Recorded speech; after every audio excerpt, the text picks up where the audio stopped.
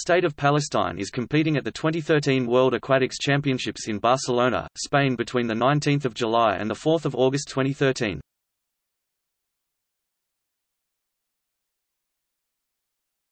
Topic: Open water swimming Palestine qualified a single quota in open water swimming.